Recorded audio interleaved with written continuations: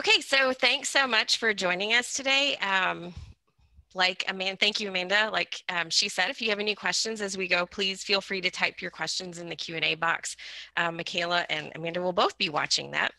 Um, I'm Dr. Julie deGraffenried. I am an associate professor and the undergraduate program director uh, here in the Department of History. This is my 20th year at Baylor, um, and I'm also a Baylor alum from about uh, 100 million years ago. So I'm super glad for this opportunity to tell you a little bit about our his history department. Um, and we have a senior history major with us, like Amanda said, Michaela Fain, who is uh, gonna uh, is here to talk to you about uh, her own experience a little bit, and she'll join me in being available for questions in the Q and A after. So, uh, tell me something about. Ooh, I have to why is that not working? Okay, cool. Um, so our department, uh, we have a spectacular faculty uh, that are doing amazing research in their fields, and they also love to teach and interact with students. Um, all of them have a heart uh, for studying the story of the past and teaching others about historical thinking. This is absolutely one of the things I love about my job, um, are the people that I work with. We have 22 full-time faculty members, all PhDs. We have five faculty members who teach regularly uh, for us, but hold joint appointments in other parts of the university. So for example, uh, we have an archaeologist that we split uh, with anthropology. Uh, we have a classicist that we split with the classics department. Um, and then we have three part-time faculty members, all PhDs. So when you take classes in the history department, particularly once you get in the major, um, you don't have to wonder, am I getting somebody from the history department? The answer is yes, you're getting somebody from the full-time uh, the full-time faculty. We do have a PhD program um, in the department and at any time during the semester uh, we have between zero and four doctoral students who are teaching a section of an introductory survey but they don't do that until after they've taken an intensive course in teaching uh, particularly that that specific um, survey and so we uh, make sure that they're prepared. So our students, um, we have about 140 majors. Uh, as of yesterday, it was 141 exactly, which gives us a faculty to student ratio of between five or six to one. Um, we have about 95 minors. And so we're a good mid-sized major. Um, uh, our students are awesome. Uh, yeah, well, our students are awesome. I'll just stop with that. Um, they just are. So let me tell you a little bit about coursework in the department and what the degree looks like. We provide a general history BA. Um, it's a 36 hour major. Um, there are four intro survey classes, two in world history, two in US history. If you have uh, AP credit, I know AP has been like bizarro world in the last year, um, but if you have APUSH credit or uh, world history credit, that's where that would count. If you have dual credit, um, that's where that would that would count. Uh, we have one required methods course. I'll talk more about that course in a minute. And then uh, our majors take two US upper level courses, two global uh, courses and two European courses plus an elective. Within that framework though, um, students are really free to choose uh, what interests them um, and what works best with their schedules. Um, and they build really just fascinating programs of study if you're interested in the secondary major, so you're thinking of doing a major in say the business school, but you want a secondary major in history, that drops the elective. So it's a 33 hour major for secondary majors. We do have why is it hard to advance this? This is bizarre. Okay. Um, we do have a uh, history secondary ed track. So if you're coming in already thinking, I absolutely know that I want to teach high school or middle school history, uh, there is a secondary ed track that's a 36 hour program plus courses in the School of Ed um, that ends up with your preparation um, to be certified to teach in Texas. We have two four plus one programs. Uh, so four plus one programs mean that you do, you, you start MA coursework in your senior year. And so after five years, so for the BA, one finishing the master's. After five years, you end up with a BA in history and a Master of Arts in Teaching. That's with the School of Ed, that's the MAT. Or uh, in uh, five years, sorry, four plus one, uh, you end up with a BA in history and a master's in museum studies. Um, and that's the MST um, program. So if that's interesting to you, that's great. Uh, it's a major that works uh, really well with other majors and minors and certificates. Um, this is just a quick list from students that I was advising this last week um, of common uh, majors and minors, things that they're pairing with history. It works really well with uh, poli-sci, works with biology really well.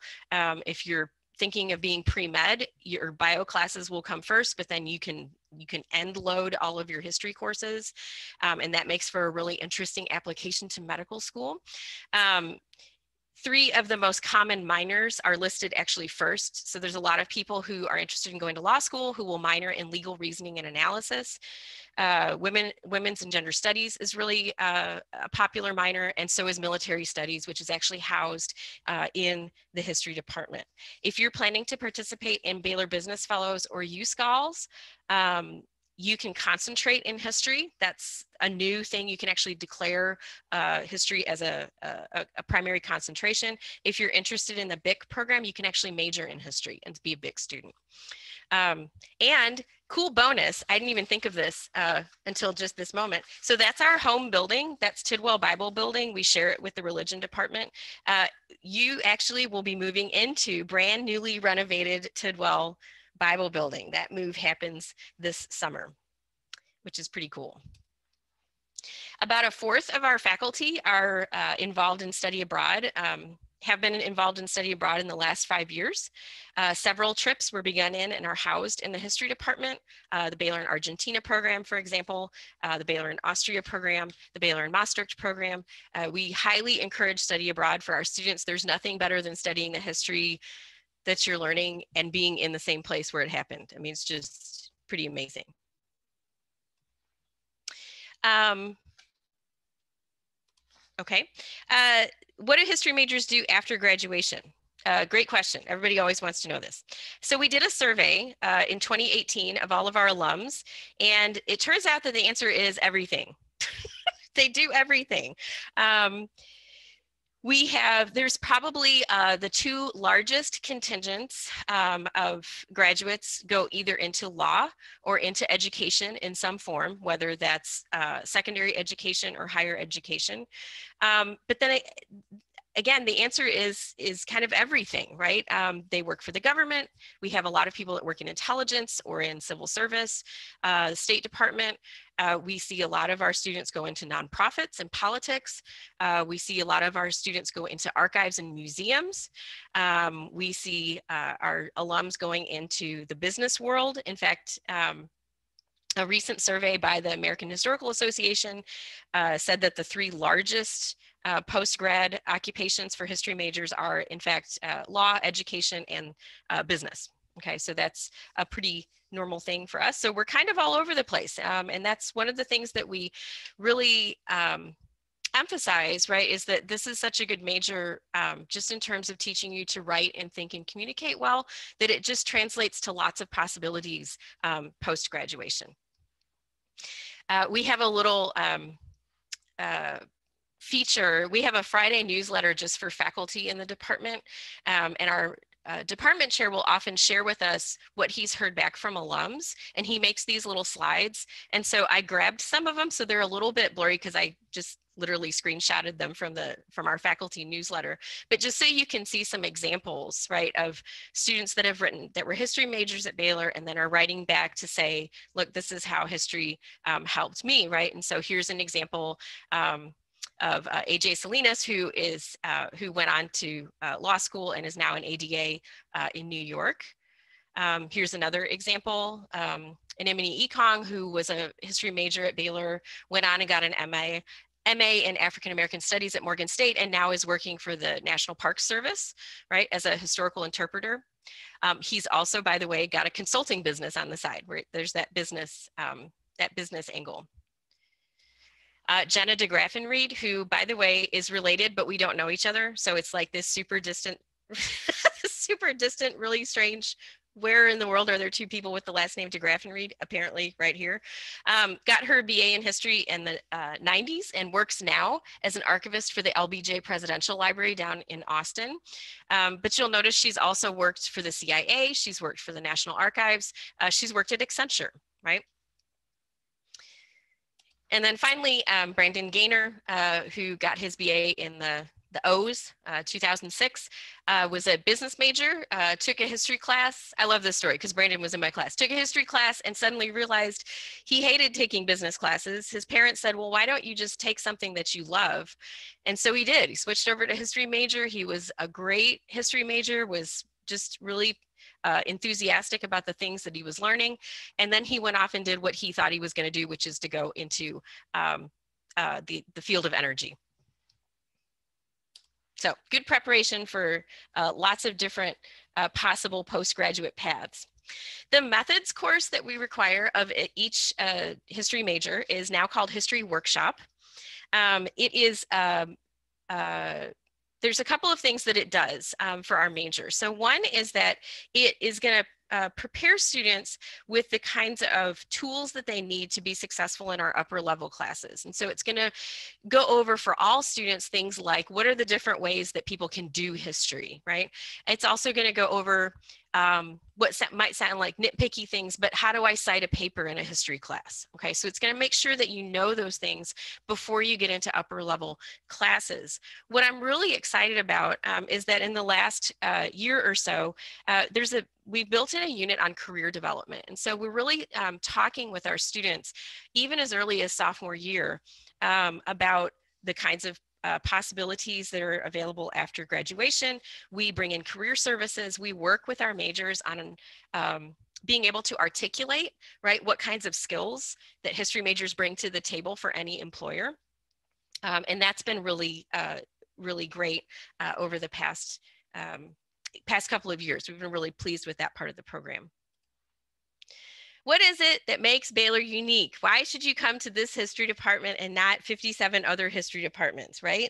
Um, so I would say two things. So one is that you're going to get a faculty that's going to have all the books and articles and research of an R1 faculty, but you're getting it with um, a group of faculty that are expected. It's not the exception. They are expected um, to be enthusiastic about their work with undergraduates. Um, and and honestly, that's what sets it apart from a, a, big R1 history department or a large school, right? Where a lot of sort of full-time faculty who write lots of books are generally sort of siphoned off to work with graduate students. Um, we still see undergraduate education as like the that's the thing that we do. We do have a PhD program, but undergraduate education is where our heart is, right? I mean, this is the bread and butter of what we do. It's what Baylor's always been about. And so that's um, one thing that makes us uh, unique.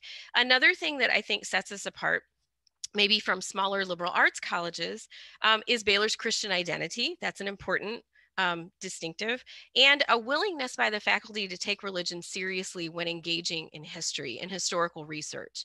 Um, and so uh, I think those two things uh, in combination uh, make us a unique choice. Um, and I guess I could add a third thing, right? I mean, you, you can't go to another history department that's got two national championship basketball teams in a row, right? I mean, there's only one of those. So anyway okay um, so there's that uh, so for more information um, i would encourage you to check out our website there is my contact information. You can send me an email anytime. If you forget how to spell my name because it's super long, if you just go to the Baylor um, uh, site and put in history and find history faculty, you'll find me. Um, I'm happy to answer questions anytime. There's not a dumb question that you can ask. Um, I guarantee you somebody's asked before. Um, so I'm happy to take questions. And in fact, we'll open it up now to any questions that you have. But before we do that, I want to give Michaela a chance to talk. So I'm going to stop sharing. Hope everybody's got that contact information. Um, okay, great. So I wanted uh, Michaela to give us, uh, tell us a little bit about yourself, where you're you from, that kind of stuff. Um, and then uh, what's your favorite thing about being a history major, either at Baylor or in general, doesn't matter. And then what are your post-graduation plans? Okay, so I'm going to go in that order. Um, let's see if I can get all of the things. I am a senior history major who's minoring in English. So my minor was on the most common minor slide. Um, I'm from California, so I am an out of stater. So I understand what it's like to be away from home. Um, what else? I live in a freshman hall. I have all four years, and that's definitely played a role in my Baylor journey. Um, I think that's enough about me. I think that covers all of the bases. Um, what is my favorite thing about being a history major? I'm going to go with two different things. The first is because there is a ratio of five to six um, students per professor. From the very first moment I stepped into Tidwell, I knew that I was going to be loved. Um, and that was as a senior in high school. It was before I even applied and committed to Baylor. And so, like, the undergraduate program director at the time sat me down and said, I want to answer your questions. And at the end, he looked at me and he said, we want you here. We're going to make sure that you get through. Like, we want you here. We want to love on you. And I walked out of Tidwell and I went, Mom, like, I think I have to come here. Like, this is where I want to be. And that has remained true. Um, I just took um, graduation pictures. And so in my graduation pictures, I was like, I will take a book from every single history class I've taken. And the grand total is 15 different history classes, and that is not normal, but I absolutely love the professors. Um, the second would be the history workshop class. So I took it as historiography. And that was the class that really set me on the path I'm on now, which is really exciting. I came in wanting to be a teacher because both of my parents are teachers. And with that class, I realized that I really love writing and researching and would love to work in an archive one day which leads me to my post graduation plans because I graduate in less than a month now. Um, and that is I'm moving to Washington, D.C. to attend American University as part of their master's in public history, which is basically how do you get the public engaged with history. Um, so it's taking my passion for education, my passion for history, and blending the two. And I'm really excited. So. That's great. I didn't know that story. That's so good. That's so great. Yeah, so if you have any questions for us, we would love to answer them.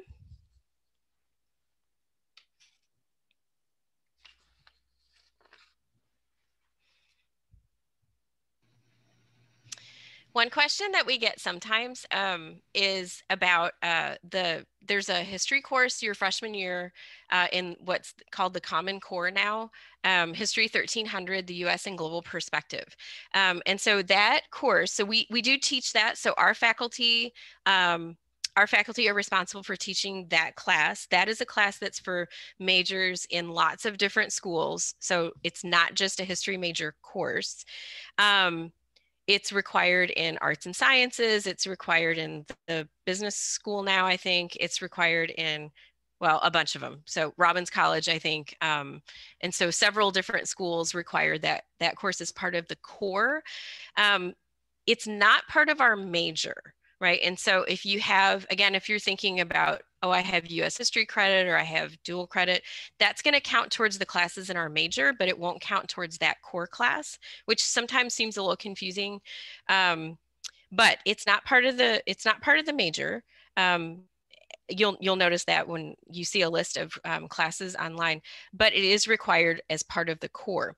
What we do um, for anybody that's coming in as a history major is that we offer a special new student experience section of History 1300 each fall. And so you'll be grouped with all of the history majors in one section of that class. And so that's, um, I just love that. We, this is something that's only two years old. Um, we had 26 uh, in that class last fall.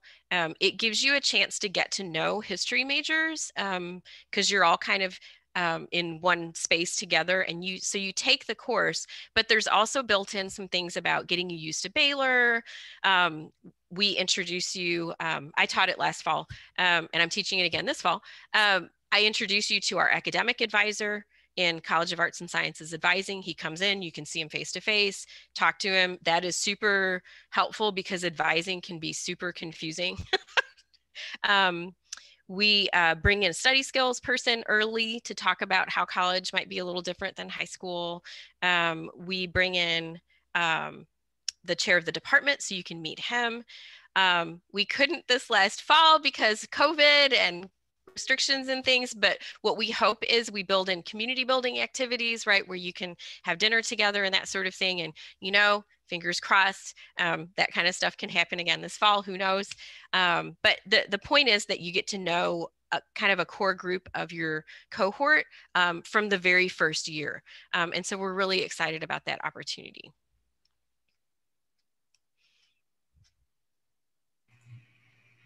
Okay, I don't see any questions that have come in. We have like about a minute if anyone wants to send in a question, um, but hopefully you got the contact information and you're more than welcome to reach out as well. Mm -hmm. Michaela, do you know some of the things that um, other people are in your class that are graduating are planning to do after graduation? This is really putting you on the spot.